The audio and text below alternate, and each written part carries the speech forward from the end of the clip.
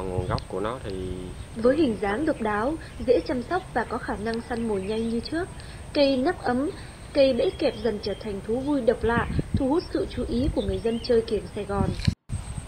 Cây nắp ấm có tên khoa học là Nepenzer marabilis. Ủa nói giờ phải Cây gửi bẫy ngược vô có tên khoa học là Playchat hay còn gọi là Felis Playchat hay còn gọi là cây ăn thịt là loài thực vật phân bố ở vùng nhiệt đới Việt Nam, Thái Lan, Indonesia. Những cây này có chung đặc điểm là cùng tiết ra mùi hương đặc trưng để dụ con mồi vào bẫy, sau đó tiết ra chất enzyme tiêu hóa, hấp thu chất dinh dưỡng.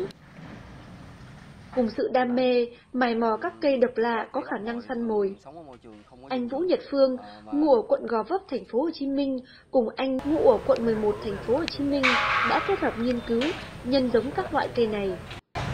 Với không gian chật hẹp ở thành phố, anh Phương cùng anh Tuấn quyết định thuê mở khu vườn nhỏ tại xã Nhị Bình, huyện Hóc Môn để cùng nghiên cứu nhân giống, mở rộng diện tích đáp ứng nhu cầu người mua và tham quan.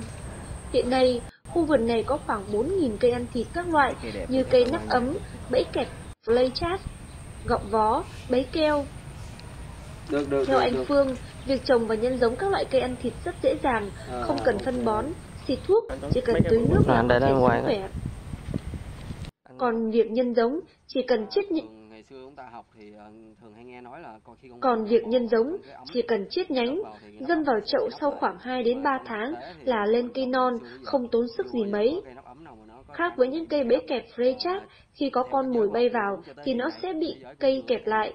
Còn cây nắp ấm thì có dấu hiệu tạo trên bề mặt ấm trơn nên con mồi dễ bị rơi vào ấm.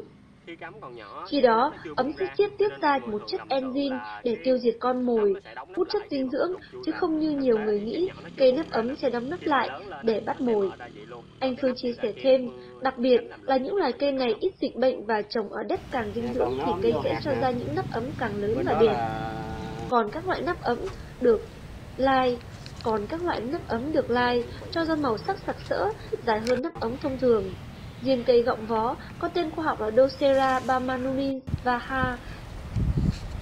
Cây bẫy keo có tên khoa học là Bailis, có thân hình nhỏ hơn so với hai cây trên, nhưng cũng không kém phần.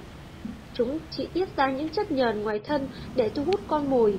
Khi côn trùng đậu vào thì chúng sẽ không thể nào thoát khỏi, và khi con mồi chết đi ra ngoài, loài cây này sẽ tiết ra một chất enzyme tiêu hóa để hấp thu chất dinh dưỡng. Nắm bắt điểm thú vị trên, nhiều người dân ở Sài Gòn và các tỉnh thành lân cận đã săn lùng các loại cây này. Được biết, trên thị trường hiện nay, giá của loại cây nắp ấm dao động từ 50.000 đến 200.000 đồng. Cây bẫy kẹp có giá từ 150.000 đến 500.000 đồng tùy theo kích cỡ của cây. Theo y học cổ truyền phương Đông, ngoài hình dáng kỳ lạ và khả năng bắt côn trùng, cây nắp ấm có tác dụng chữa một số bệnh như ho, vàng, da do viêm gan, đau lết dạ dày,